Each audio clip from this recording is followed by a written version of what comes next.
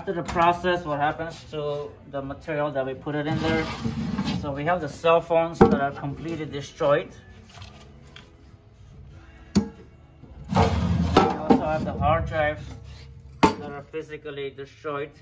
So this stuff right now will be collected and sent down to the refineries to be melted down and used for the manufacturer. They use it for new products that they build.